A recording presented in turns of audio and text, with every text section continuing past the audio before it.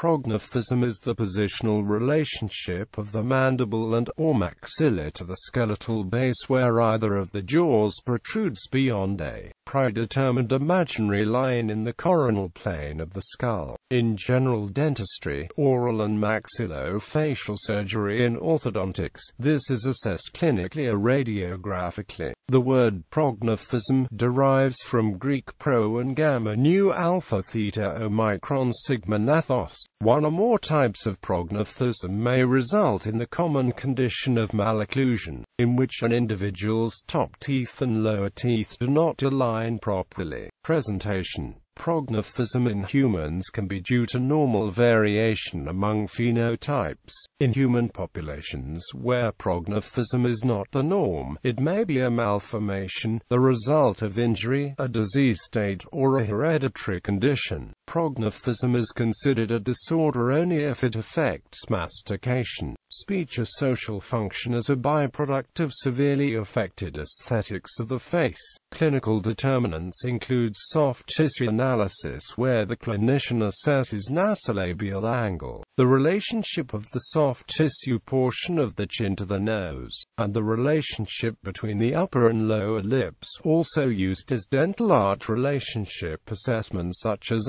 Angle's classification. Cephalometric analysis is the most accurate way of determining all types of prognathism, as it includes assessments of skeletal base, occlusal plane angulation, facial height, soft tissue assessment and anterior dental angulation. Various calculations and assessments of the information in a cephalometric radiograph allow the clinician to objectively determine dental and skeletal relationships and determine a treatment plan. Maxillary prognathism is a protrusion of the maxilla, and is a common feature in sub-Saharan Africans. It is not to be confused with micrognathism, although combinations of both may be found. It affects the middle third of the face, causing it to jut out, thereby increasing the facial area, similar in phenotype of archaic hominids and apes.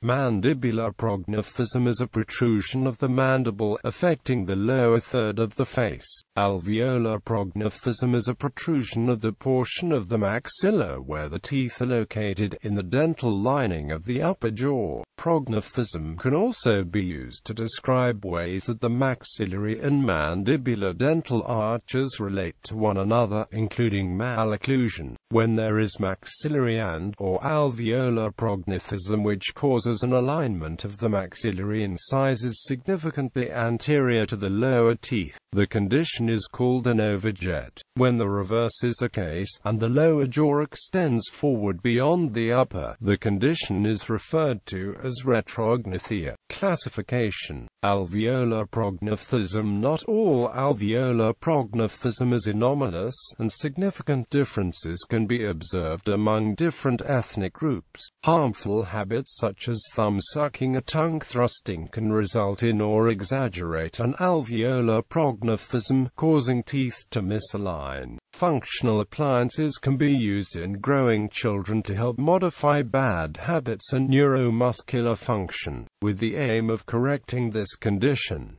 Alveolar prognathism can also easily be corrected with fixed orthodontic therapy. However, relapse is quite common, unless the cause is removed or a long-term retention is used.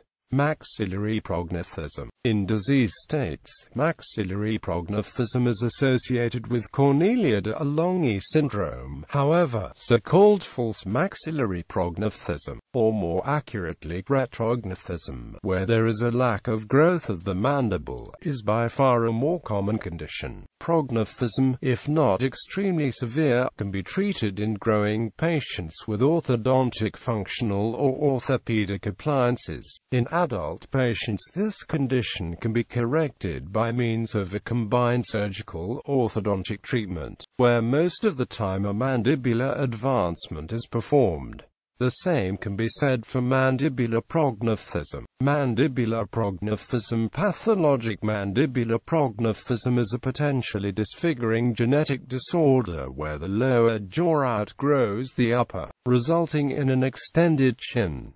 It is sometimes a result of acromegaly. This condition is colloquially known as lantern jaw, as well as Habsburg jaw, Habsburg lip or Austrian lip due to its prevalence in that bloodline. The trait is easily traceable in portraits of Habsburg family members. This has provided tools for people interested in studying genetics and pedigree analysis. Most instances are considered polygenetic. It is alleged to have been derived through a female from the princely Polish family of Piast, its Mazovian branch. The deformation of lips is clearly visible on tomb sculptures of Mazovian Piasts in the St. John's Cathedral in Warsaw. However, this may be, there exists evidence that the trait is long-standing. It is perhaps first observed in Vlad Dracula and Maximilian I. Traits such as these that were common to royal families are believed to have been passed on and exaggerated over time through royal intermarriage, which caused acute inbreeding, due to the large amount of politically motivated intermarriage among Habsburgs. The dynasty was virtually unparalleled in the degree of its inbreeding. Charles II of Spain is said to have had the most pronounced case of the Habsburg jaw on record.